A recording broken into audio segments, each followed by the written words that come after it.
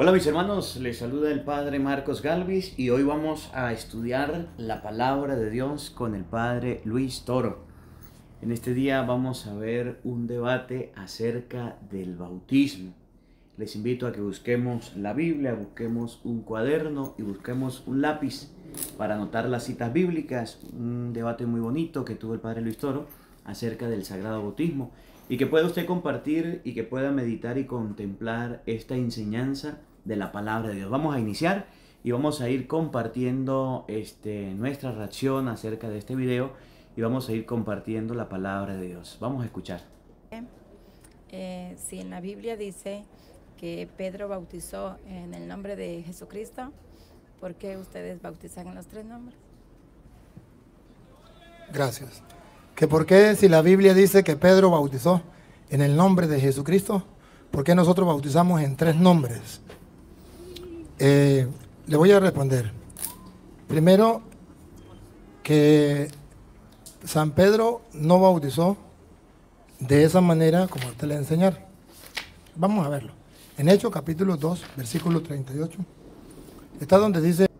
Vamos a buscar la cita bíblica, vamos a tenerlo. Hechos capítulo 2, versículo 38.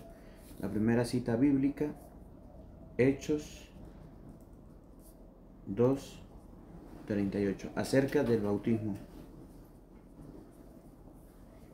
Que, que tiene que bautizarse en el nombre del Señor Jesús. Y lo vamos a oír. Y voy a tratar de darle la explicación por qué lo hacemos. Escuche. Pedro les contestó, arrepiéntanse y que cada uno de ustedes se haga bautizar en el nombre de Jesús. Yo quiero que usted vea que la palabra de Dios dice, en el nombre de Jesús, no dice con el nombre. Hay diferencia en el nombre y hay diferencia con el nombre. Ciertamente que la Biblia dice, bautice en el nombre, pero no dice con el nombre. Si dijera con el nombre, sería entonces como los pentecostales unidos enseñan, que tengo que utilizar el nombre. Si, no digo Jesús, no queda bautizado porque tiene que ser con el nombre. Y la Biblia no dice que es con el nombre, dice que es en el nombre. ¿Y qué significa en el nombre? Significa algo distinto. En el nombre significa que yo no vengo de mi parte. Pedro no me iba de su parte. Iba de parte de Jesús, entonces iba en el nombre, de parte de Jesús. Y bautizaba no con el bautismo de Juan, sino con el bautismo de Jesús. Entonces eso significa en el nombre. Le pongo el ejemplo, en Hechos de los Apóstoles capítulo 19, versículo del 2 en adelante. Hechos capítulo 19, versículo 2. Vamos a escribir la cita bíblica, muy importante escribirla para esta enseñanza. Así que lo leemos desde el 1. Cuando, cuando van a bautizar, ¿por qué Pablo dice que tiene que ser en el nombre? Vamos a ver. Mientras Apolo estaba en Corintio, Pablo llegó a Éfeso atravesando las regiones altas. Entró allí y algunos discípulos y les preguntó, ¿recibieron el Espíritu Santo cuando abrazaron la fe? Cuando abrazaron la fe, recibieron el Espíritu Santo. Y aquí va a mostrar cómo se abraza la fe. Sigue. Le contestaron, ni siquiera hemos oído decir que se reciba el Espíritu Santo. Pablo les replicó, entonces, ¿qué bautismo han recibido? Entonces, ¿qué bautismo han recibido? Está hablando del bautismo. Observen que hay dos bautismos, uno el de Juan y otro el de Jesús. Y la gente no sabía que existía el bautismo de Jesús, de parte de Jesús, como Jesús había mandado. Ellos no sabían. Y bautizaban en el nombre de, de, de Juan, como Juan mandaba, no como Jesús había mandado. Ponga cuidado. Respondieron, el bautismo de Juan. Ahí estaba el error. Bautizaban con el bautismo de Juan. Y Pablo le va a decir que eso no es correcto. Ponga cuidado. Entonces Pablo les explicó, si bien Juan bautizaba con miras a un cambio de vida, pedía al pueblo que creyeran en él, que vendría después de él, esto es, en Jesús. Al oír esto, se hicieron bautizar en el nombre del Señor Jesús. ¿Y qué significa en el nombre? No con el nombre, en el nombre. Como Jesucristo lo dejó, como Él lo enseñó, porque si hay dos bautizos, está el de Juan y está el de Jesús. ¿Cuál es el de nosotros? ¿El que dejó Juan o el que dejó Jesús? Si es el que dejó Jesús, entonces es en el nombre de Jesús. No con el nombre, sino en el nombre, de parte, como Él lo enseñó. Entonces cuando Pablo dice, bautices en el nombre, o cuando la Biblia dice que Pablo bautizaba en el nombre, o Pedro bautizaba en el nombre, significa que no bautizaban como a ellos les daba la gana, que no bautizaban como bautizaba Juan, sino bautizaban como Jesús mandó. Entonces, si nos vamos a nosotros a ver cómo es que Jesús mandó, lo encontramos en Mateo 28, 19. Vamos a escribir la cita, Mateo capítulo 28, versículo 19. ¿Cómo mandó Jesús a bautizar? Que es como nosotros bautizamos, porque es así como Jesús lo mandó. O sea que nosotros los católicos bautizamos en el nombre de Jesús. O sea, como Jesús mandó, de parte de Jesús, no como a nosotros nos venga en gana. Bautizamos como mandó Jesús. Entonces eso significa en el nombre. ¿Y cómo mandó Jesús? Vamos a ver. Vayan pues y hagan que todos los pueblos sean mis discípulos. Bautícenlos en el nombre del Padre y del Hijo y del Espíritu Santo. En el nombre significa como mandó Jesús. Hay gran diferencia en decir como mandó Jesús o decir con el nombre de Jesús. El error de los pentecostales es no entender lo que significa en el nombre. Entonces piensan que es con el nombre.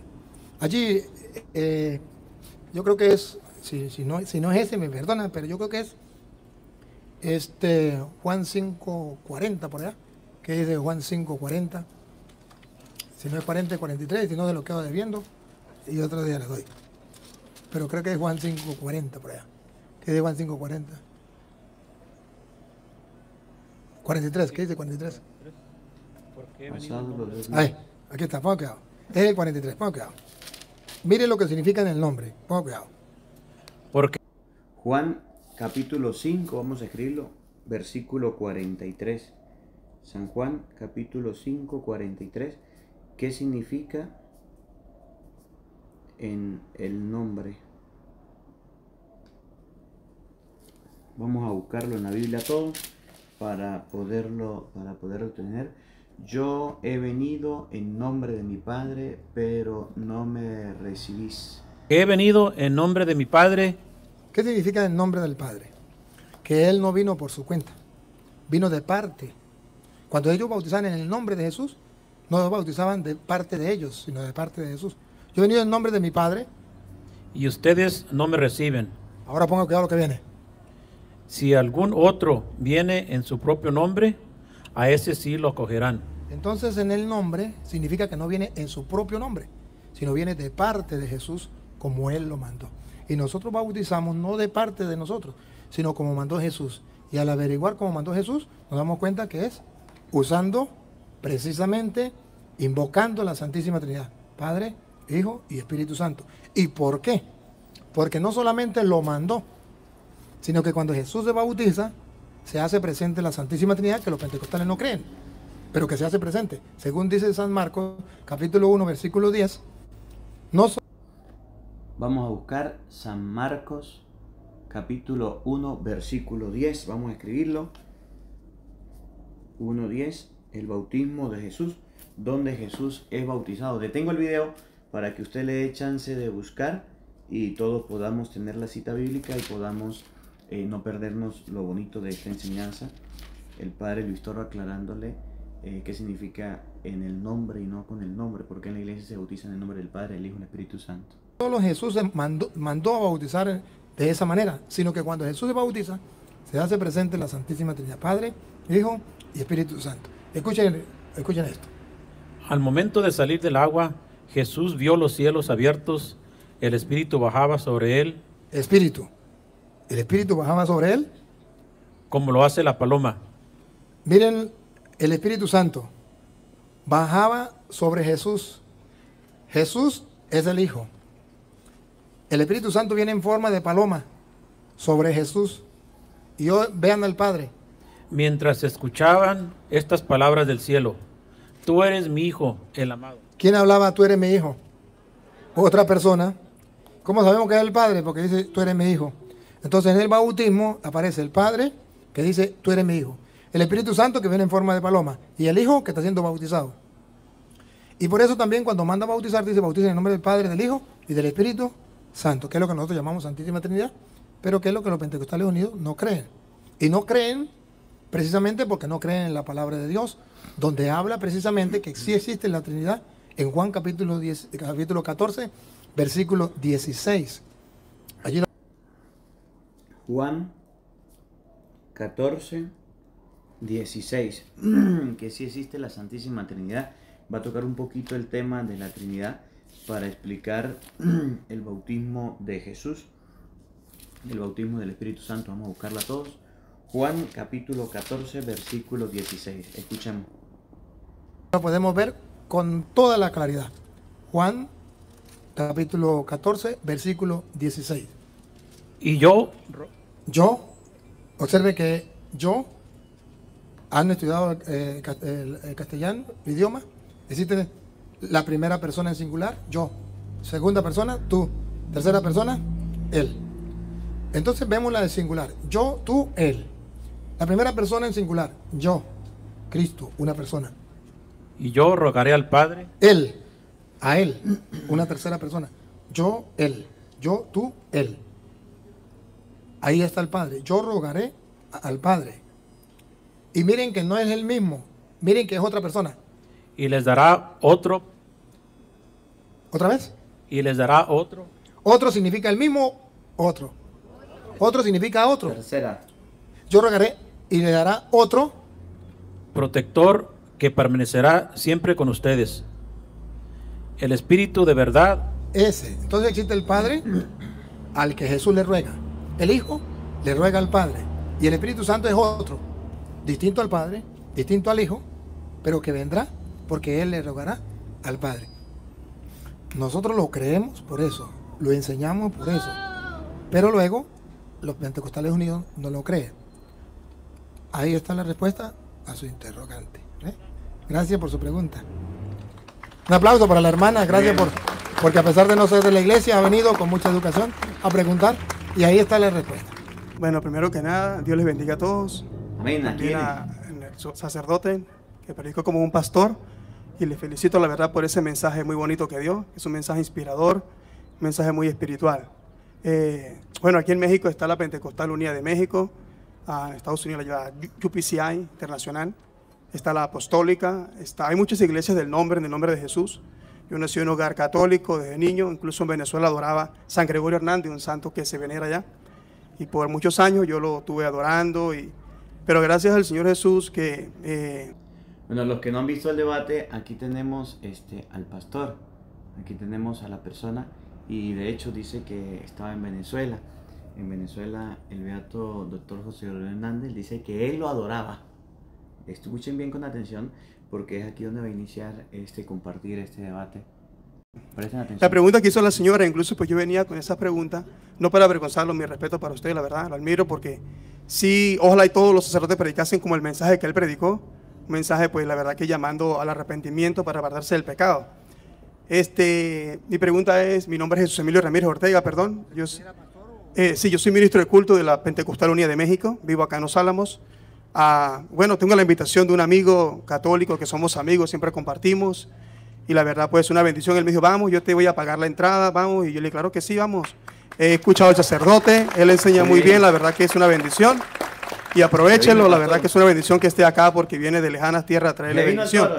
Eh, mi pregunta es en cuanto a eso, que el concepto que usted tiene acerca de los pentecostales, este, ah, a lo mejor para usted lo ve como y lo transmite y lo predica como si ellos tuviesen una enseñanza errónea. Y lo que yo le quiero preguntar es, la iglesia del primer siglo, ah, cuando los apóstoles, después que Jesús ah, ascendió al cielo, cuando él subió al cielo, él, antes de eso él los comisionó y le dijo, id por todo el mundo y hacer discípulos a todas las naciones predicándolo y el que creyese y fuere bautizado, este será salvo.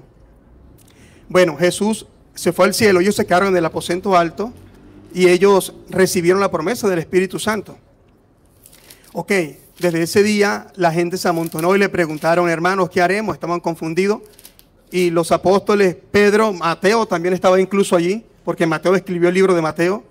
Y Pedro se puso en pie en el capítulo 2. Vemos que en el versículo 14 dice que Pedro se puso en pie junto con los once apóstoles porque ya habían elegido a, eh, a Matías, el sucesor de Judas, el Iscariote, para completar los doce. Y Pedro se puso en pie ese día junto con los once apóstoles, también estaba María ahí. Y ese día eh, él les dio una respuesta, el pueblo quería una respuesta. Le dicen... El pastor está hablando de Hechos capítulo 2, versículo 14. Entonces Pedro presentándose con los once levantó la voz y dijo, judíos y todos los que vivís en Jerusalén. A eso está haciendo referencia, no ha dicho la cita, no ha dicho el libro. Hermanos Galileos, ¿qué haremos? Hemos matado al Cristo, al Mesías, al ungido, al que predicaron los profetas, los apóstoles.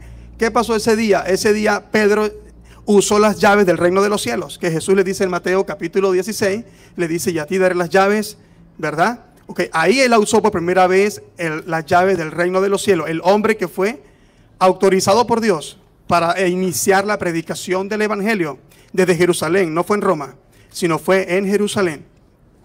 Eh, si me corrigen, si estoy equivocado, me pueden corregir, pero eso lo dice la palabra de Dios. Y en ese día, este, el apóstol Pedro bautizó, los mandó a bautizar a todos en el nombre del Señor Jesucristo. Y fueron muchas personas que se bautizaron. Eh, la Biblia del libro de los, de los Hechos de los Apóstoles, eh, Pastor Toro, le digo pastor porque predica como pastor, yo sé que es sacerdote, varón de Dios, mucho respeto.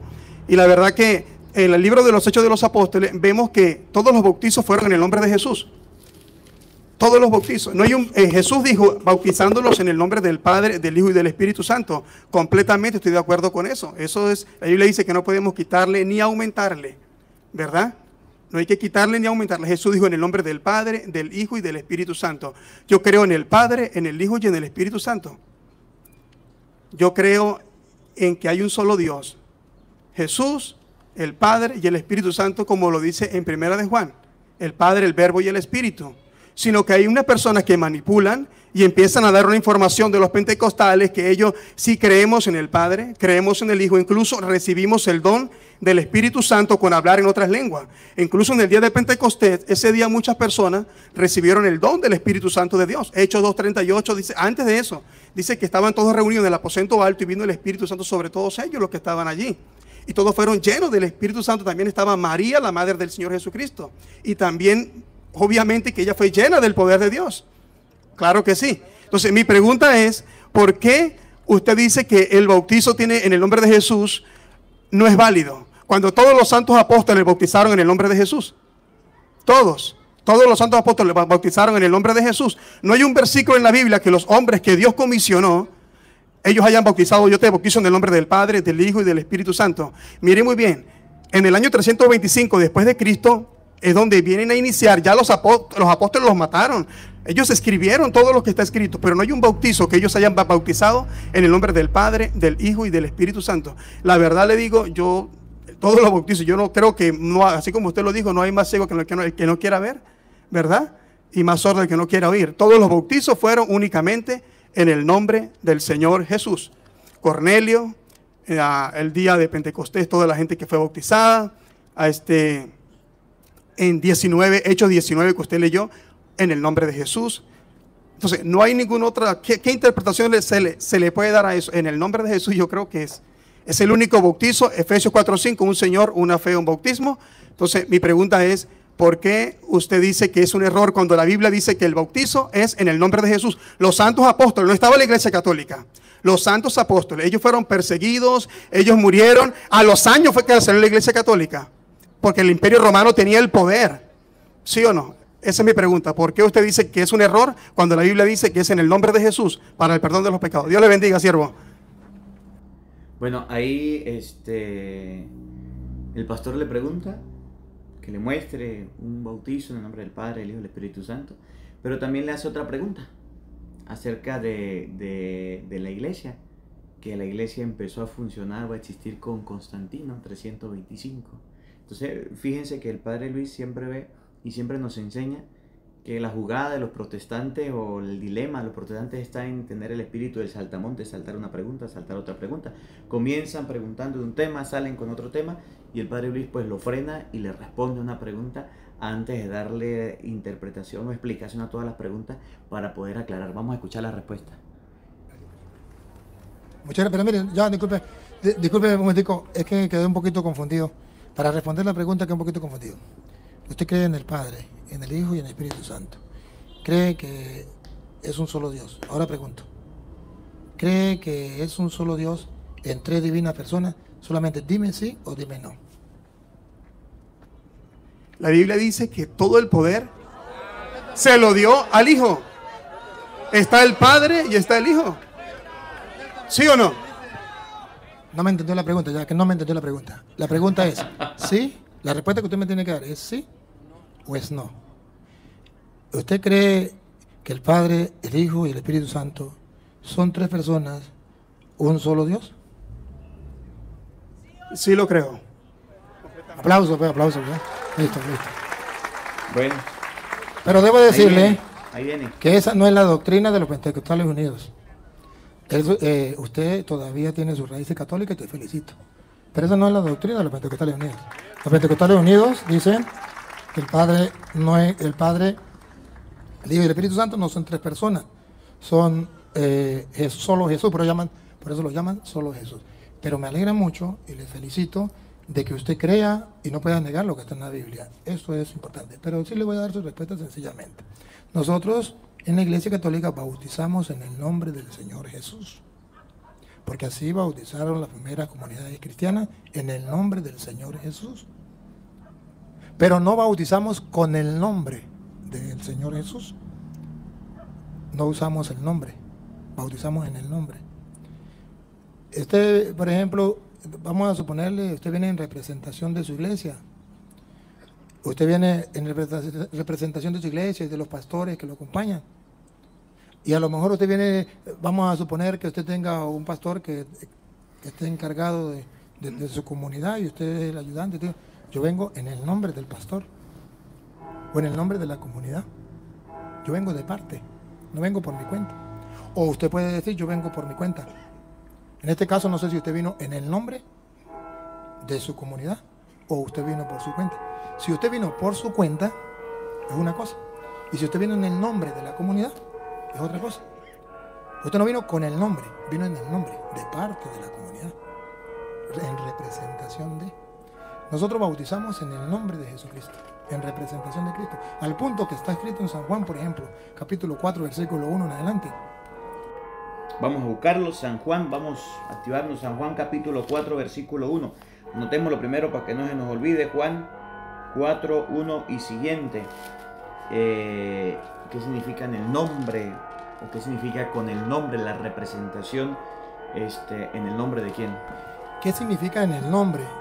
Que es que los, los- lo que hagan los apóstoles, y en el caso del bautismo, es como si lo hiciera el mismo Jesús. Eso significa en el nombre, en representación de Jesús, como si fuera el mismo Jesús que lo hiciera, como Él lo mandó. Escúchenlo. Juan capítulo 4, versículo 1. Se habla del bautismo. Acérquese. Cuando pues el Señor entendió que los fariseos habían oído decir, Jesús hace y bautiza más discípulos que Juan. ¿Cuál era el, el problema de los fariseos? Jesús hace y nos encontramos con el bautismo.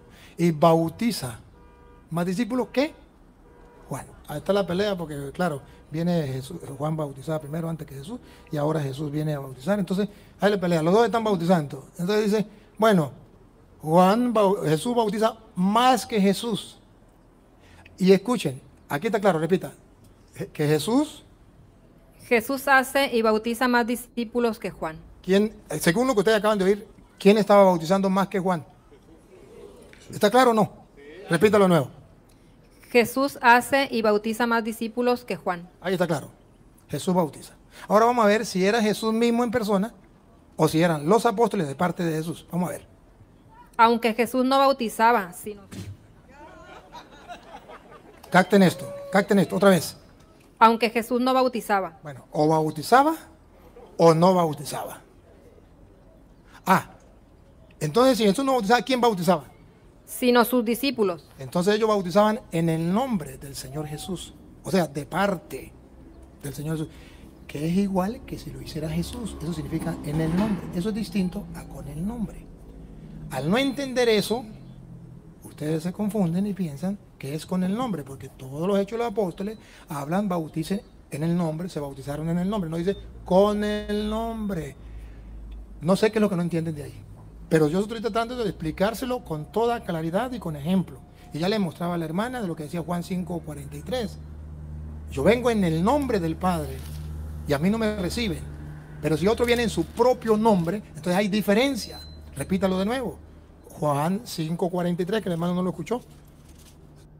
Vamos a buscarlo ahí mismo, que ya lo, lo dijo, pero lo volvió a repetir porque este, el pastor que le está preguntando, pues le vuelve a hacer la misma pregunta.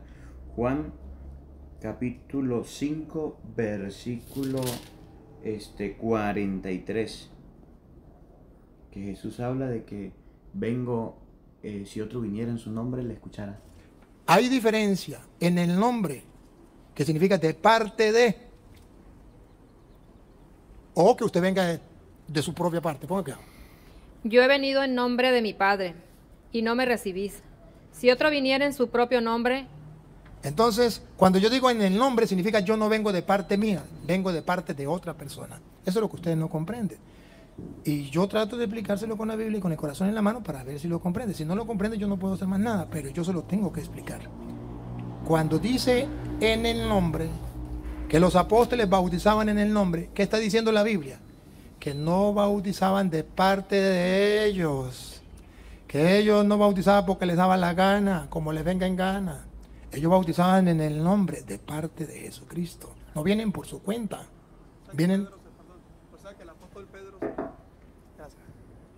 O sea que usted está queriendo decir que el apóstol Pedro se equivocó al usar el nombre de Jesús a centenares de personas cuando fueron bautizadas. Para mí completamente sería una gran locura creer que él se haya equivocado. Para mí no fue una locura. Este, yo no he dicho eso. Si quieren retrocedan el video para ver si yo lo he dicho. Yo no he dicho que Pedro se equivocó cuando dijo eso. Yo lo que acabo de decir y se lo voy a repetir, que Pedro bautizó en el nombre del Señor Jesús y mandó a bautizar en el nombre del Señor Jesús. Y que nosotros los católicos bautizamos en el nombre del Señor Jesús, que significa, según la Biblia, que no es como a nosotros nos dé la gana, sino tal y exactamente como mandó Jesús. Eso significa en el nombre. Si no me entiende eso, me perdona, pero yo no estoy diciendo otra cosa. Que usted me ponga en labios míos otra, a decir otra cosa, es problema suyo, pero yo soy claro y, y, con pruebas le estoy mostrando qué significa en el nombre. Ya usted puede decir todo lo que sea y se le respeta porque usted me res- me respeta a mí, yo lo respeto a usted y nos respetamos, pero el mundo entero tiene que saber la diferencia de lo que es en el nombre a con el nombre. Ahora, si usted me muestra donde dice que bautizaron con el nombre, me cayó la boca, pero en ninguna parte va a encontrar que bautizaron con el nombre. Va a encontrar que bautizaron en el nombre, que significa no de parte mía, sino de parte del Señor. Gracias por su pregunta. Otro que quiera preguntar. Ah, ya, ya va, ya va, un momentico. Eh, sí, sí, dijo otra cosita, perdone, perdone, que me quedó, me, quedó, me quedó algunas cosas que no puedo dejar pasar. Y ya que usted es una persona que se puede compartir, lo podemos hacer. Mire, usted dijo que la Iglesia Católica comenzó a existir como en el año 325, algo así, y que antes no existía. Ajá. Eh, no sé dónde lo leyó, o sí sé dónde, pero, pero debo decirle que si por, si por curiosidad, usted quiere saber, por, por curiosidad, usted quiere estudiar, hay una carta que se llama eh, la carta de San Ignacio de Antioquía. ¿sí? San Ignacio de Antioquía, usted debe saber que fue discípulo de San Juan Bautista. Y en Antioquía fue obispo de Antioquía hacia, del año, hacia el año 100 y muere por allá hacia el año 107 o 110 por allí. Y ese, y ese santo, ese santo en el año 100, observe, en el año 100, eh, estaba, ya San Juan lo deja como, como, como su discípulo, y él es hacia el año por allí 107 donde él llama por primera vez a la iglesia de Cristo iglesia católica. No es en el año 325, la carta está. O sea, es tu palabra contra la mía, pero solamente puedes ir a buscar en cualquier biblioteca o incluso por internet San Ignacio de Antioquía, esto se lo graba y usted puede ver el video porque eso queda montado, San Ignacio de Antioquía, y usted busca la carta y usted podrá encontrar y leer con sus propios ojos donde dice, donde está el obispo, están los presbíteros y los diáconos, ahí está la iglesia católica, que es la iglesia de Cristo. Si no está, pues usted me dice, pues es un cura mentiroso, pero le doy ese dato. Y, y luego, eh, esa iglesia, usted sabe que fue perseguida y fue precisamente la iglesia católica. Usted sabe que murió San Policarpo, y lo mismo San Ignacio de Antioquía y todos los apóstoles. Murieron, ¿dónde murieron? ¿Quién los mató? Y usted va a Roma y encuentra lo que es el, Coliseo romano, donde mataban a los cristianos. ¿A qué cristianos mataron? ¿A los pentecostales unidos? Pentecostales unidos, a, lo- a, los, a los evangélicos. Eh, mataron a los católicos, mataron a los católicos con el papa, con los papas que existían, y ahí están enterrados. No sé si usted ha ido a las catacumbas, yo fui a las catacumbas y pude entrar en las catacumbas, las que yo fui eran dos kilómetros bajo tierra, donde estaban, eh, donde ellos celebraban la, la Eucaristía, la Santa Misa, donde bautizaban y hacían todo el culto porque era bajo tierra, lo perseguían, lo mataban. Y ahí están, en el camino, o sea, co- como le digo yo, en los pasillos, pegados así en la pared, están los que se llaman como gavetas, no sé cómo le dicen ustedes, gavetas también. Y ahí están los nombres que todavía subsisten. Placas con mármol, no sé qué, materiales, no sé qué era. Pero ahí están los nombres de los santos que están allí, obispos, este, papas de aquel tiempo. Y no eran de los pentecostales. Y si usted le doy un datico más, si usted quiere saber cuándo nació esa iglesia de los pentecostales unidos, usted sabe que fue en el año 1904. Y si no lo sabe, analícelo. Y lo Anoten esas, esa, esa fecha, 1904. Y si no, búsquenlo, 1904. Nacen los pentecostales. Entonces, el reproche del pastor hacia el padre es que la iglesia católica nació en el año 325 con Constantino. Y el padre le está diciendo, pero es que ustedes los pentecostales nacieron en el año 1904. Y dicen que son la iglesia de Cristo. Y dicen que son la iglesia del Señor. Y le está hablando de una carta del año 100 donde San Ignacio de Antioquía dice que existe la iglesia católica, donde está el papa, los obispos y los fieles, ahí está la iglesia católica. Fíjense que él está hablando de historia el papa, no solamente de Biblia. Y el papa también, el, el, el padre le está hablando un poquito de la historia porque le está tocando la historia. Y la historia está escrita, dice él, búsquelo por internet, bueno, busque por Google, busque por Siri, pídale a un buscador o escríbalo en su celular y busque lo que el padre está diciendo para que usted lo encuentre. fundó Carlos Parán, que fue el que fundó esa iglesia. Entonces no me venga a decir que esa era la iglesia que estaba en aquel tiempo, porque cada iglesia tiene partida de nacimiento, como ustedes también tienen partida de nacimiento. Yo le puedo decir que yo tengo 500 años y les puedo caer a mentiras hasta que ustedes me pidan la partida de nacimiento. Cuando le pidan la partida de nacimiento, usted va a descubrir que no es así. Si usted le, así por curiosidad, algún día pregúntese partida de nacimiento de su iglesia. Y si no, está sencillo. Usted puede buscar por, Google, usted le pregunta a Google, eh, por teléfono, eh, usted busca de Siri y, y habla, y, usted pregunta, ¿quién fundó la iglesia católica? Y ahí dice quién la fundó, en qué año. Cristo Jesús lo dice. Y, y- o Alexa también. Usted puede buscar y con sencillez, así, buscando simplemente la, la- la- la- la verdad, la sencillez de la verdad. Entonces usted puede encontrar que la iglesia católica, incluso si usted supiera, A, a ver, vamos- vamos a hacer la prueba, vamos a hacer la prueba, Jamín. Pregúntale ahí a, a Siria a ver quién fundó los Pentecostales Unidos de Venezuela. El padre aquí dice que, que le pregunte, vamos a preguntarle a ver. Vamos a preguntar aquí a, a Siri a ver qué dice Siri, usted qué sabe, pregúntele usted al Siri, ¿quién fundó los ¿Quién Pentecostales? fundó los pentecostales? A ver qué dice, el suyo creo que funciona, el mío no funciona. Vamos a ver, este, a ver qué dice Siri. Si no, si no tiene Siri, pregúntale a Alexa, o pregúntale a Google, o pregúntale, ¿Quién o escriba. fundó los pentecostales? Pentecostales Unidos. ¿Quién fundó los pentecostales unidos? ¿Quién fundó los pentecostales ¿Quién unidos? fundó la Iglesia Pentecostal Unida? O fundador de la Iglesia Pentecostal Eco. Unida. Fundador de la Iglesia Pentecostal Unida. Encontré esto en internet. ¿Qué dice ahí? ¿Quién fundó la Iglesia Pentecostal Unida? Bueno, aquí está el buscador, mire. Aquí está para que usted lo vea lo que dice el padre, que, que pueden, que pueden buscarlo. Entonces vamos a abrir el primero a ver qué dice. fundador lo remite a una página de, de internet y busca la página de internet. ¿Cuál es la doctrina pentecostal? ¿Quién fundó la iglesia pentecostal unida? Aquí está. Se caracteriza por la doctrina de la unicidad de Dios, es decir, por no creer en la Santísima Trinidad. Y fíjense que el Padre Luis le decía al pentecostal, ¿usted cree en la Trinidad? Y decía, sí. Y el Padre Luis ya ha leído esto. Y le decía, pero es que, bueno, lo felicito porque tiene las raíces católicas, pero los pentecostales no creen en la Santísima Trinidad, que consideran Padre, Hijo y Espíritu Santo como una manifestación del mismo Yahvé. Ellos no creen en la Santísima Trinidad. Mire, aquí dice, ¿cómo me quita esto? Este, para que la gente lo vea. Ahí dice inclusive lo que el Padre dice, mil, la fecha, mire. Aquí la voy a, se la voy a mostrar para que usted la vea. El movimiento pentecostal nació el primero de, de enero del año 1901. Mire, aquí está la fecha. Mire, usted la puede tener ahí o la puede buscar. Aquí en la partecita de arriba dice la fecha y todo.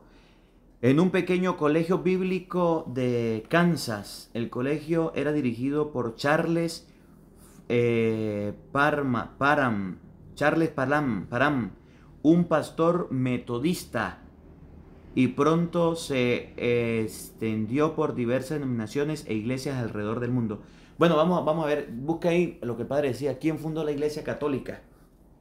¿Quién fundó la iglesia católica? El padre nos dice, bueno, busquen por internet, Jesús vamos a de ver. Nazaret crearon iglesia Venga, venga, venga, pregúntele, no, y escuchen, escuchen, pregúntele a mí. Pero aquí para que la gente lo vea, venga para acá para que la gente lo vea y se dé cuenta. Ahora mire lo que dice, este es Siri. ¿Quién fundó la iglesia católica? Jesús de Nazaret crearon iglesia católica. Y miren, es lo que dice el padre. Pregúntele, pregúntele al mismo internet para que usted vea quién fundó los pentecostales. Ahí aparece Charles yo no sé qué. Eh, pregúntele quién fundó la iglesia católica. Y ahí está. A las pruebas nos remitimos. Estamos viendo los videos para aprender, para que ustedes y yo podamos compartir y podamos aprender. El padre también está metido en la historia, está metido en la Biblia y sabe de la, de la tecnología, de lo que estamos compartiendo, de lo que estamos viviendo hoy día. Y miren, el pastor, vamos, vamos a continuar viendo el video. Hice el paréntesis para que usted se dé cuenta de lo que él nos está mandando a hacer. La Biblia que ustedes tienen no es de ustedes, que la hizo la Iglesia Católica en el año 382, el Papa San Damaso I. Entonces usted podría entender de que, bueno, ¿cómo, ¿cómo creo yo que la Iglesia Católica no es la de Cristo? No viene de Cristo. Y es la iglesia que hizo la Biblia. Pero entonces de repente usted puede decir, pero es que la Iglesia Católica es la que nació en el año 325 con, con, con este 325 con Constantino. Pues sepa que esa iglesia que usted dice que nació en el año 325 con Constantino fue la que después del 325 viene 326, 27, 28 hasta llegar a 382. Y en el 382, esa iglesia que usted dice que es la de Constantino, le puso a la Biblia 27 libros que se llama todo el Nuevo Testamento. Y usted me habló de San Mateo. Y usted me habló de los Hechos de los Apóstoles. Eso no existía, eso se lo puso la iglesia de Constantino. Entonces, ¿por qué usted, entonces usted me diga, ¿por qué usted acepta esa Biblia cuando esa Biblia la puso la iglesia católica? Si ustedes tuviesen una Biblia propia, donde usted dijera, mira, esta Biblia la hicimos fue nosotros, fue el pastor Julano, el pastor Sultano, y aquí están las pruebas. ¿Usted quiere pruebas? Sínodo romano, el concilio de Hipona y el de Cartago. Usted lo puede buscar, si no está ahí, pues no lo- es mentira, pero usted lo puede buscar. Una pregunta. ¿Usted trata de agradar a Dios o al hombre? Fíjense, fíjense, fíjense Sí. bien, fíjense bien. El pastor comienza preguntando, comienza preguntando acerca del bautizo. Le dice al padre acerca del bautizo que en el nombre de Jesús o con el nombre de Jesús, que tiene que ser como ellos mandan en el nombre de Jesús. Luego el pastor le sale con otra pregunta. Y la otra pregunta es acerca de la iglesia, que por qué Constantino fundó la iglesia. Y ahorita le sale con otra cosa. Es lo que el padre dice que siempre hay que hablarle de un tema para que ellos no tengan la oportunidad de saltar. Miren que no reconoce, miren que no habla, miren que no dice nada acerca de que sí tiene razón o es verdad o voy a averiguar, voy a investigar lo que usted dice. Sino que simplemente sale con otra pregunta y sale con otra pregunta. El continuo pan de cada día de los protestantes. Oiga, si tratara de agradar al hombre, le hubiese aplaudido todo lo que usted dijo y no le hubiese refutado con, con- con la palabra de Dios, porque para no tener problema con usted, para no entablar ninguna conversación. Porque mire, usted, usted se da cuenta que la mayoría de sacerdotes, la mayoría de sacerdotes no les gusta compartir con ustedes porque les gusta agradar a los hombres, para que no se molesten. En cambio, yo no me gusta agradar a los hombres, si se molestan, pues mala suerte, pero no me gusta agradar a los hombres, me gusta agradar a Dios. Ya este, para terminar, la verdad pues hay muchas personas carecen de conocimiento y es el líder y todos lo escuchan y piensan que, oye, sí, es cierto. Jesús dijo, escudriñad las escrituras porque a vosotros os parece que en ellas tenéis la vida eterna. ¿Sí o no? ¿Verdad? Ahora, lo que más vale, lo que más importa en cada persona, recuerda, Jesucristo lo crucificaron por decir, aquí no tenemos que decir, no, yo no soy su enemigo, ni tampoco pienso que son mis enemigos. Recuerde que la tolerancia es lo más importante y démosle lugar al Espíritu Santo. Más, más en este lugar, que hoy está un lugar muy bonito, le felicito la verdad porque es un ambiente muy espiritual.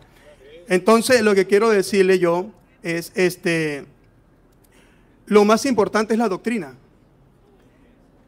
La enseñanza que usted tenga. No es el nombre de la iglesia pentecostal, es un nombre que se le pone a la organización.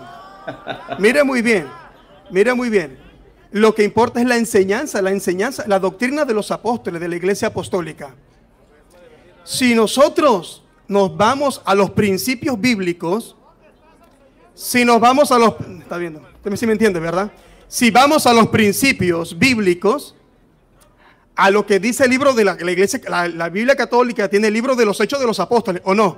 Y yo la tengo esa Biblia. Y yo para mí no, no es un libro malo, es un libro bueno. Porque es el mismo libro. Y de ese libro yo puedo hablarle y decirle que en el nombre de Jesús, el hecho de los apóstoles, todo lo que ellos hicieron, ¿verdad? Ahí se habla la doctrina que los apóstoles predicaron. Incluso el apóstol Pablo, que era fariseo y se convirtió al cristianismo. Y en el nombre de Jesús. ¿Sí o no? Esa es la enseñanza que yo tengo. La enseñanza que tenía Pablo, Pedro, los apóstoles, en el nombre de Jesús, eh, el, el- el Padre envió al Hijo. Eso es una locura el decir que no, no es cierto. El Padre envió al Hijo, todo el poder lo tiene el Hijo. Y tenemos que ser llenos del Espíritu Santo de Dios y hablar en otras lenguas. Eso lo hacía la iglesia primitiva. Porque eh, el apóstol Pablo dijo que el Evangelio es poder de Dios para salvación. Y lo que él enseñó hoy de la gente, eh, las personas con, eh, con las cuestiones que hay hoy en día, la dificultad, el pecado de los sexos y todas esas cosas, por la misma razón, porque a veces no le dan lugar al Espíritu Santo de Dios. Entonces, la iglesia primitiva bautizaban, eran llenos del Espíritu Santo, creían en los milagros, sanidades, y yo sé que también usted lo cree, ¿verdad? Pero necesitamos que la iglesia siga esos principios y no caer en la apostasía, no abandonar los principios. No abandonar los principios. Un momentico, ya va, ya va. Un momentico, un momentico. Dicen que el pez cae por su propia boca. No abandonar, no abandonar, no abandonar, no abandonar sus principios. Pregunto, ¿usted era católico? No abandonar sus principios. ¿Qué es la, qué es la apostasía? ¿Qué es la apostasía? Él dijo, apostasía es abandonar sus principios y está escrito en primera de Timoteo capítulo 4 versículo 1 en adelante. Primera de Timoteo 4.1. Vamos a escribir esa cita bíblica de la apostasía. Primera Timoteo capítulo 4 versículo 1. Apostasía. El pez cae por su propia boca. Miren que este le pasó lo de Kung Fu, de hecho una perdida. Y el padre Luis lo agarró y le dijo, venga para acá. Y le va a dar una enseñanza. Era católico, abandonó los principios, abandonó la iglesia y llegó, ustedes vieron al inicio, llegó diciendo que era eh, pastor de una iglesia que venía a Venezuela, que fue católico, que era el líder, que era el, que, el jefe de la iglesia, abandonó la iglesia católica y mire, el padre le está enseñando que los principios no hay que abandonarlos y él mismo lo dijo. Está escrito, eso no es palabra de él, eso está escrito. La apostasía, y si tiene la Biblia Reina Valera, mejor. ¿Tiene la Reina Valera usted? Ah, la Reina Valera mejor, porque lo dice más claro. Apostasía es abandonar los principios y para la prueba un botón. Él abandonó los principios católicos que se le enseñaron. Eso se llama apostasía y está escrito. Vamos a escucharlo. El pez muere por su boca. Ponga cuidado. Primera de Ni presten 4:1. atención a No, no, no, no. Primera de Timoteo, capítulo 4, el versículo espíritu, 1. El espíritu, niña. Sí. Abandonar los Ah, principios. ya va. Yo, yo lo que quiero es que ustedes observen que este hermano tiene toda la buena intención, y yo le capté mientras el hermano busca, que nosotros tenemos que aferrarnos a la palabra de Dios. Eso yo se lo admiro a usted, y no solo a usted, sino a todos los hermanos que, que leen la Biblia, pero que no están en la iglesia católica, el amor a la palabra de Dios. ¿Y qué es lo que yo estoy haciendo con ellos? Sembrándole ese amor a la palabra de, Dios, porque es un, es un pecado, es un pecado. San, San Jerónimo decía, desconocer las escrituras es desconocer a Jesucristo. Entonces, es- eso es verdad. Y, cada vez que un hermano separado me dice eso a mí, siento que me cachetea para acá, para acá, para acá, pero al mismo tiempo levanto los ojos y le digo, Señor, pero algo estoy haciendo. Algo estoy motivando que los católicos lean la Biblia. Levanten la mano los que están comenzando a leer la Biblia, que ya comienzan a leer la Biblia. Pá- Pásenme la cámara ahí, pásenme la cámara, mire. Mire, hermano, esto no existía antes. Mira, mira esto. Mira Mire, esto. mire, mire, mire, esto no existía antes. Qué bonito. mire, Ahora, estos hermanos ya están comenzando a leer las sagradas escrituras.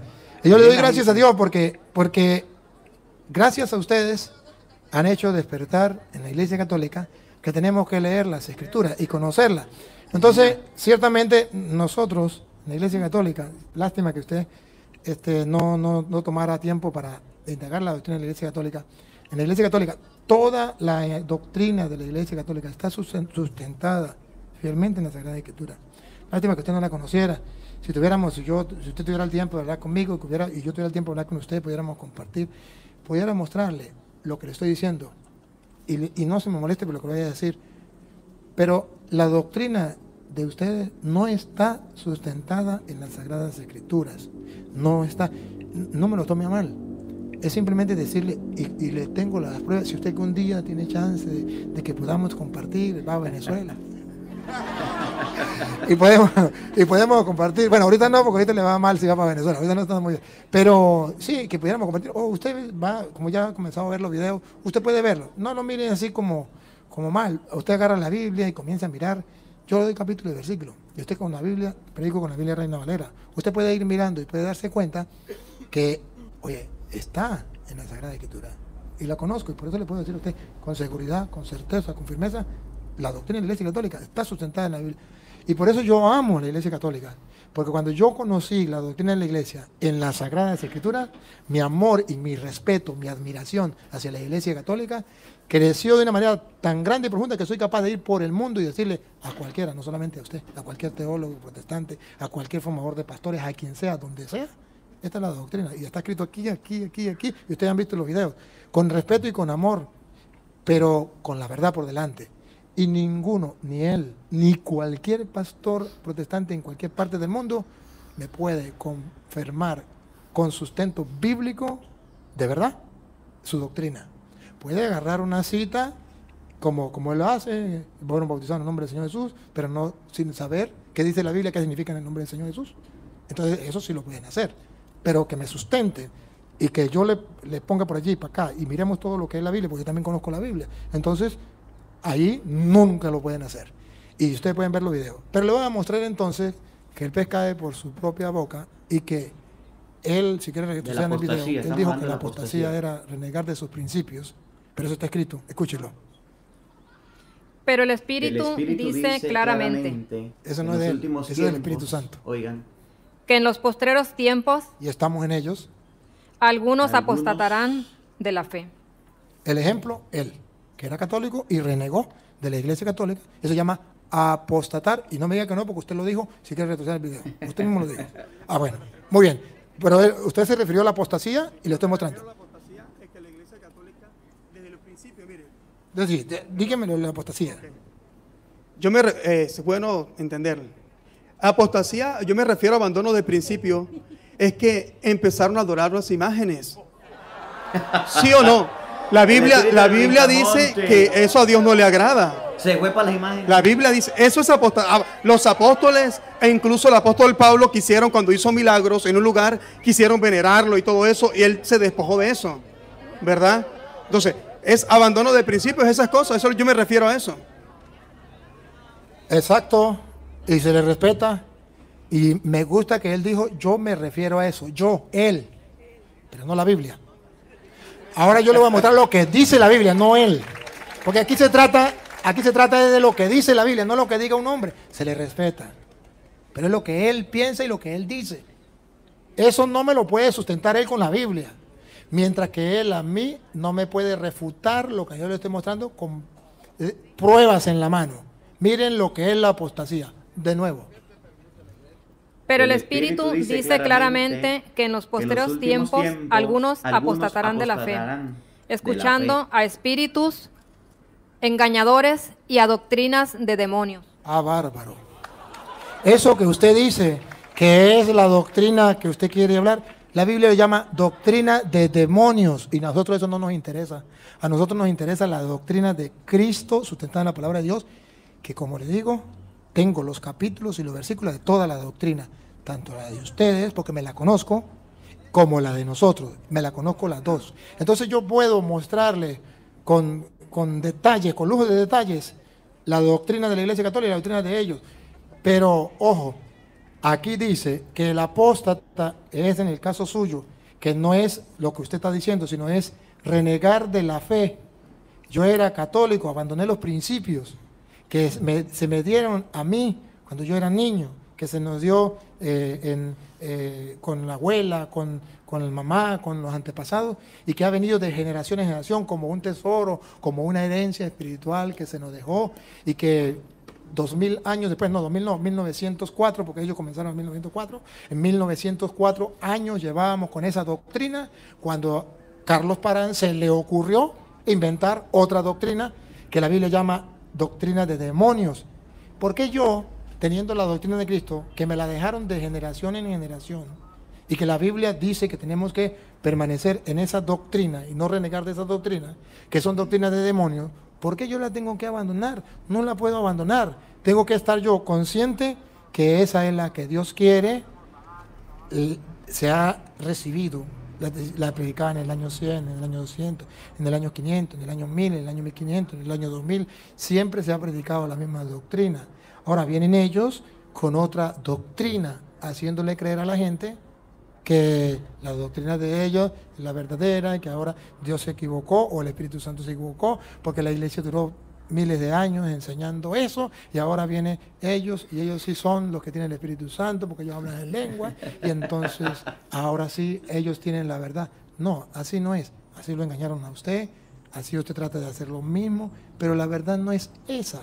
La verdad es que Cristo dejó una iglesia, incluso en Mateo 28, 19 dice, vayan y bauticen en el nombre del Padre y del Espíritu Santo, y luego dice, y enseñen a guardar todo lo que yo les he enseñado a ustedes. Eso se llama doctrina cristiana. Y dos mil años se ha enseñado eso a lo largo de la historia del cristianismo.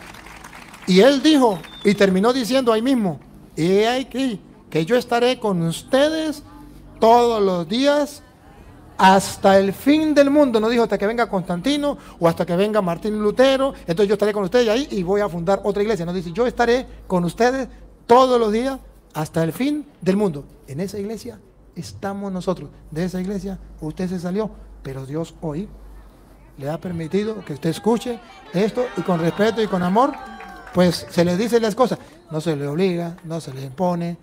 Algunos piensan y dicen que yo los trato mal. No, ven, podemos hablar. Eso se llama ecumenismo.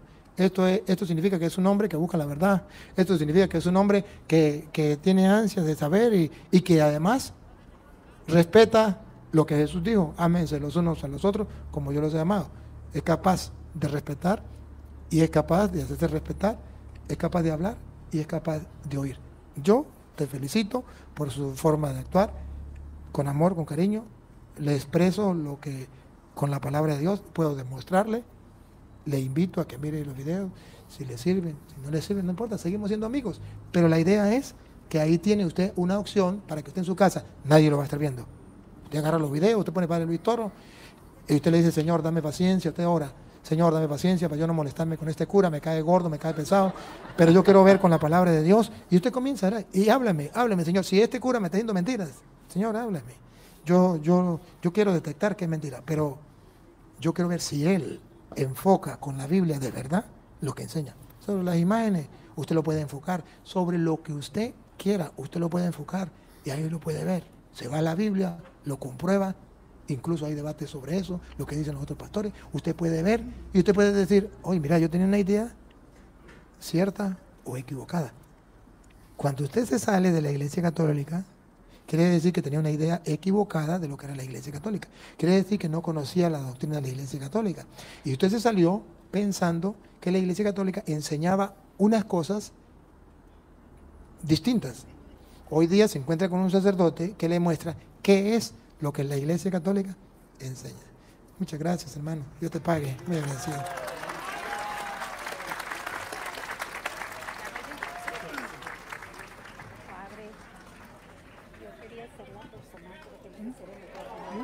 Bueno, ahí estamos, estamos con, con la enseñanza, con, con el debate, con la conversación, preguntas y respuestas del padre Luis Toro que le, que le están haciendo. Y miren tan bonito que está respondiendo.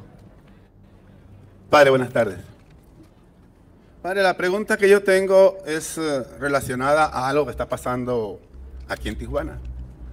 Ah, hay unos sacerdotes que son sacerdotes, van a ser sacerdotes toda la vida, que ya están excomulgados de la arquidiócesis y ya están boletinados por todo el país. Estos sacerdotes ya tienen su propia iglesia con su AR, pero siguen diciéndose católicos. Ya no están en la iglesia católica. Ah, casi la mitad de Tijuana sacerdotal conoce sus nombres, pienso que hasta todos. Entonces ellos siguen oficiando misas exactamente como nuestra como la Santa Madre Iglesia Católica y siguen confirmando, haciendo matrimonios, primeras comuniones y bautismos. ¿Qué podemos hacer en estos casos? ¿Qué deberíamos de hacer? ¿O qué puede hacer el, el clero? ¿Qué puede hacer alguien? Es lo que a mí me, me, interesa, que siguen, ahora siguen engañando, no diciendo que ellos no son católicos, sino se visten como usted, se visten como un sacerdote, no tenían a obispos, ahorita uno de ellos ya se hizo obispo. No le voy a dar los nombres, pero sí los sacerdotes ya saben a quién me refiero, a quiénes me refiero. Entonces, este, yo quisiera saber qué va a pasar con esos hermanos, porque la fe de bautismo no tiene el sello de la arquidiócesis, de los matrimonios. Las primeras comuniones las hacen en dos meses, todo para que no caigan en esos garlitos, hermanos. Pero yo quisiera escuchar del Padre Toro qué va a pasar. Gracias. Bueno, este, lo que va a pasar es lo que ahí dice el Espíritu Santo. En los postreros tiempos, algunos renegarán de la fe, apostatarán de la fe. Y incluso sacerdotes lo pueden hacer. Eso está escrito. Entonces, ¿qué tenemos que hacer? Pues simplemente los sacerdotes y los laicos tener clara la doctrina de la iglesia, lo que enseñó Cristo. Cristo es la cabeza y la iglesia es su cuerpo. ¿Y qué pasa si usted se corta un brazo y lo pone en allá en la cocina, lo deja en la cocina? ¿Qué va a pasar con ese brazo? Si se saca un ojo y lo deja por allá tirado en el cuarto, ¿qué va a pasar con ese ojo? Pertenece a un cuerpo, pero cuando se sale del cuerpo muere. Muere. No tiene vida. Jesús también lo dibujó de otra manera, lo dibujó yo soy la vid, ustedes los sarmientos. Y así como, como el sarmiento está unido a la vid, ustedes tienen que estar unidos a mí, porque sin mí nada podéis hacer. ¿Y cuál es el Cristo total? Cuerpo y cabeza. El Cristo total no es solo la cabeza. La iglesia es el cuerpo de Cristo. Yo tengo que estar unido a Cristo estando unido a la cabeza. Así está escrito en Colosenses 1, 18. En Colosenses 1. Colosenses 1, 18. Bueno, estamos con otra pregunta. Si un sacerdote se sale de la iglesia, este, puede o queda excomulgado de la iglesia por algún motivo, puede seguir celebrando, puede seguir haciendo misa, puede seguir haciendo primeras comuniones y el padre está explicando muy bien y está diciendo que si usted no está unido a la cabeza, que su cuerpo no está unido a la cabeza, se muere. Y entonces nos ha dado la cita bíblica, nos ha enseñado lo que dice San Juan, yo soy la vid y ustedes los sarmientos. si usted no permanece unido a mí, este, se seca. San Juan capítulo 15. El que permanece en mí, yo en él, dará mucho frito, porque separado de mí nada pueden hacer. Eh, San Juan 15, 5. Y nos ha invitado a buscar Colosenses capítulo este, 1, versículo 18. Vamos a buscarlo. En el 18 está escrito que Cristo es la cabeza y la iglesia es su cuerpo. El Cristo total no es solo la cabeza. El Cristo total es cabeza y cuerpo. Si yo me salgo de ese cuerpo, ¿qué pasa? Escuche. Y Él es la cabeza del cuerpo, es decir, de la iglesia. Él es la cabeza del cuerpo, es decir, de la iglesia. ¿Qué pasa con el sacerdote que se sale de la iglesia?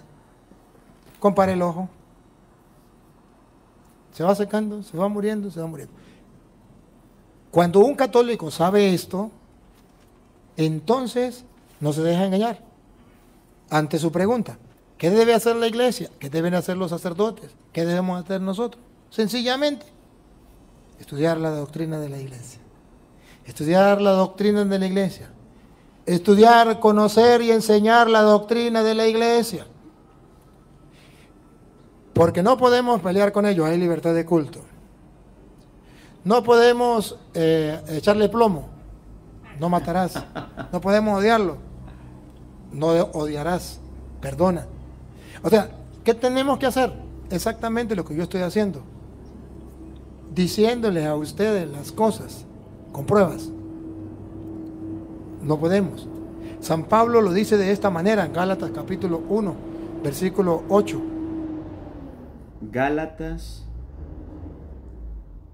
capítulo 1, versículo 8. Vamos a buscarlo en la Biblia. San Pablo va a dar una respuesta a, bueno, a esos que se salen de la iglesia y quedan excomulgados y hacen sus propias iglesias y fundan sus propias iglesias y hacen sus propias doctrinas. Oiga, Está diciendo que incluso un sacerdote, no solamente un sacerdote, un obispo, que es el caso de Alemania,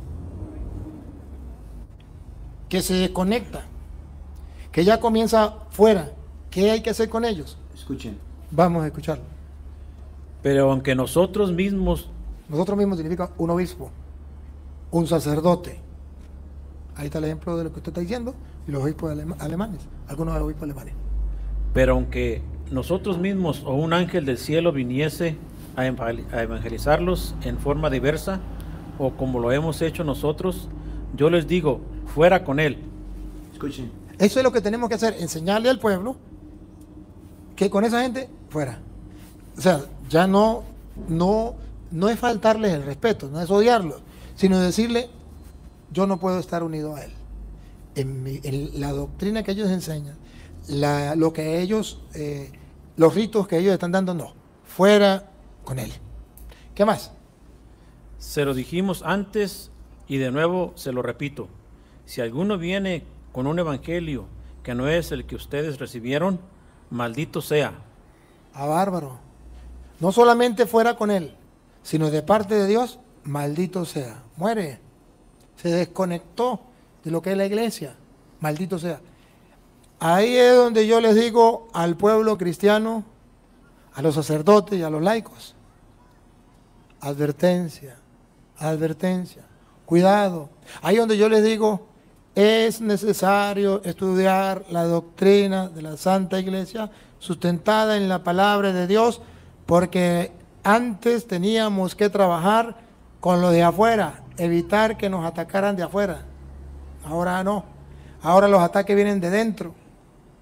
Obispos, sacerdotes, como él lo está diciendo.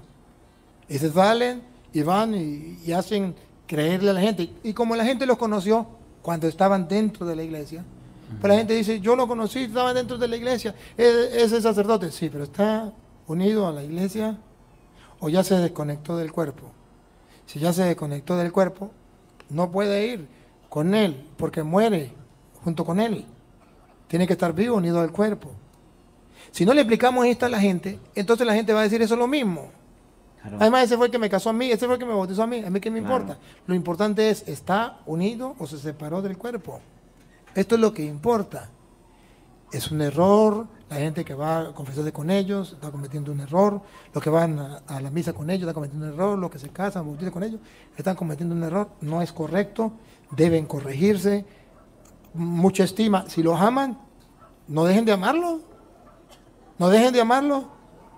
Siguen siendo hijos de Dios, siguen siendo personas. Además son sacerdotes hasta la eternidad. Solo que no pueden ejercer ese ministerio. Quieren ayudarlo, quieren llevar un plato de comida, llévenle un plato de comida. Están enfermos, quieren llevar la medicina, llévenle medicina. Tiéndele la mano, son seres humanos, son hijos de Dios.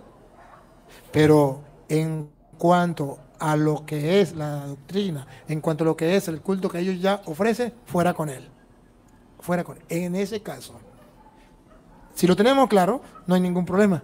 El problema es la ignorancia del pueblo y queremos hacer algo, pero no hacemos lo que tenemos que hacer. Y lo que tenemos que hacer es adoctrinar al pueblo, iluminar al pueblo con la palabra de Dios para que el pueblo esté claro y sepa cómo actuar ante esas circunstancias. No hay ningún problema.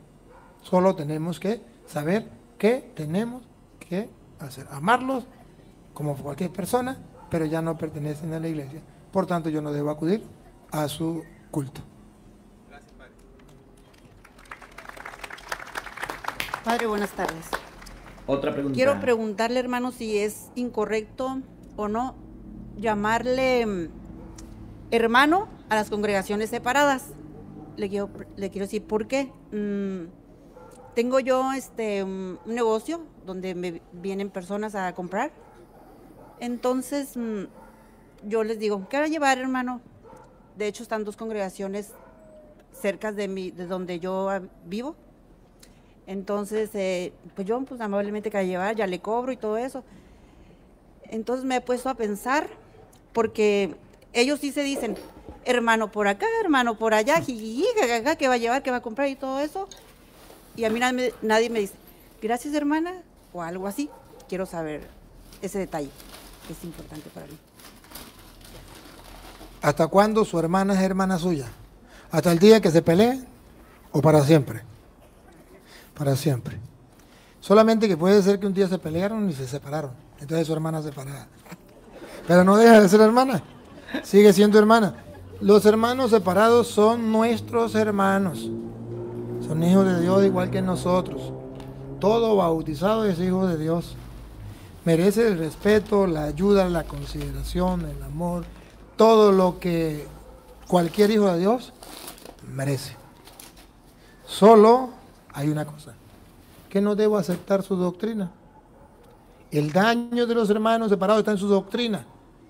Todo le puedo aceptar. Si me quieren regalar un carro, bienvenido. Yo, los hermanos separados, ahorita cuánto tenemos eh, por internet, ¿cuánto hay ahorita por internet?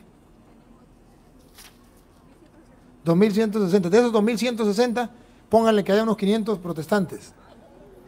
De esos hermanos separados, si ellos quieren, por ejemplo, dar un donativo para los pobres en Venezuela, bienvenidos. Si me quieren regalar un, un carro, un avión, bienvenido. No hay ningún problema, son mis hermanos. Y tenemos que tratarlos como hermanos. Pero lo que no podemos recibirle es la doctrina. Recíbele un refresco, recíbele una comida.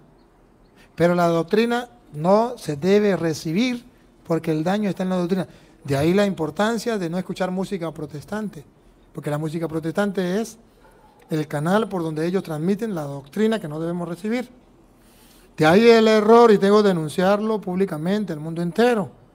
De ahí el error que están cometiendo muchos catequistas, incluso muchos sacerdotes, incluso muchas universidades católicas de llevar a los protestantes a que den clases de teología en un colegio o en una universidad católica o en una iglesia católica, a un grupo católico, la teología protestante. Eso es lo que no se puede recibir de ellos. De ellos se puede recibir todo el amor, todo lo que sea.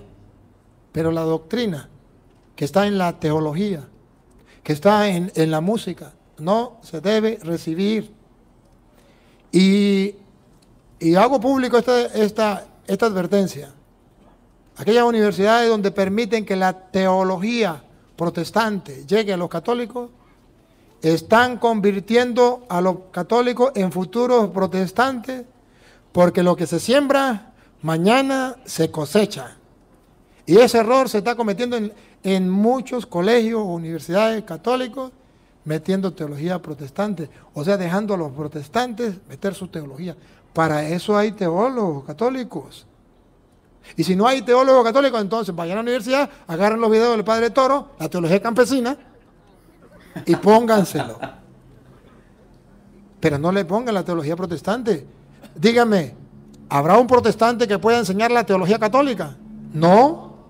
Ellos fueron formados en la teología protestante. Entonces, ¿qué vamos a hacer?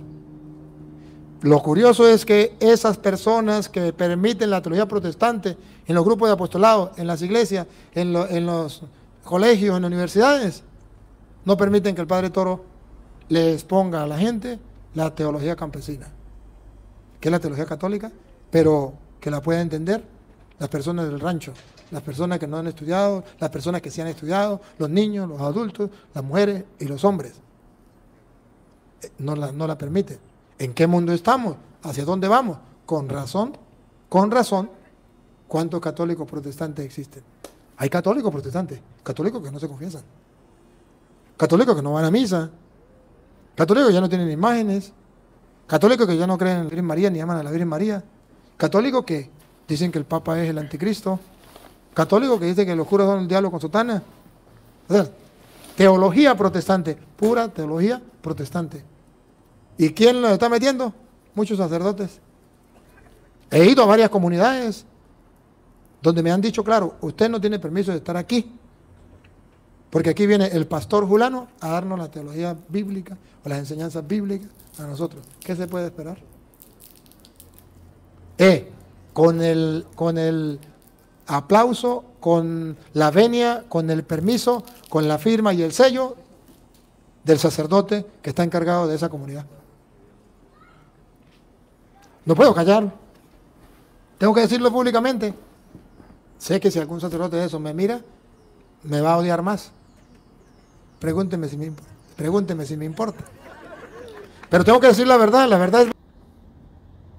Bueno, mis hermanos, este, hasta aquí el video con el Padre Luis y la enseñanza. En este día hemos aprendido varias cositas acerca del bautismo. Vamos a hacer un repaso general. Las personas que le preguntaron acerca del bautismo.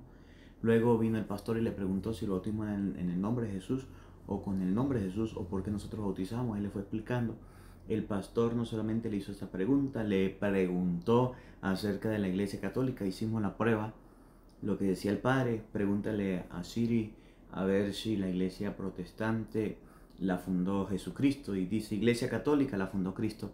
Esa parte me gustó mucho. Y también el pastor hablaba de la apostasía y el padre le explicaba un poquito lo que era la apostasía y le enseñaba lo de los últimos tiempos. Anotamos la cita bíblica. Después vino el hermano y le hizo una pregunta muy bonita. Eh, padre, si un sacerdote se sale de la iglesia o es comulgado, debemos seguir escuchándolo, debemos seguir participando. Esas misas, esas celebraciones que están son válidas. El padre le decía que no y explicaba por qué. Explicaba el sentido de por qué no era válido. Y colocaba el ejemplo de San Juan capítulo 15. Si alguno no está unido a mí, no da fruto, se seca y se muere. Y colocaba el ejemplo de Jesús y del miembro, de los miembros de la iglesia, Cristo a la cabeza, nosotros los miembros, si algún miembro es cortado, se muere, se seca. Y lo que dice Gálatas 1.8, que si alguno viene a predicarle cosas diferentes, no se recibe, no se acepta. Y terminaba el padre Luis este, con lo de las universidades, con las enseñanzas, que en las iglesias o en las universidades no se nos está permitiendo a nosotros los sacerdotes que predicamos la palabra de Dios ir a llevar la palabra, pero sí a los protestantes venir a sembrar la doctrina que no es sana, no es la doctrina de Cristo y no es la enseñanza y estaba haciendo una, una invitación a la reflexión. Bueno, me alegra que hayan podido compartir este video, los invito a poder estar en los próximos videos. Díganme usted, ya para finalizar, qué enseñanza o qué debate le gustaría que reaccionemos, que compartamos para el próximo. ¿Cuál video del Padre Luis Toro o de algún otro sacerdote le gustaría que podamos compartir y que podamos vivir? ¿Cuál enseñanza que nos deje, que podamos escribir, que podamos anotar y que podamos aprender mucho? Que Dios le bendiga, que Dios la acompañe. Le saludó el Padre Marcos Galvis. Un abrazo en la distancia. Hasta el próximo video.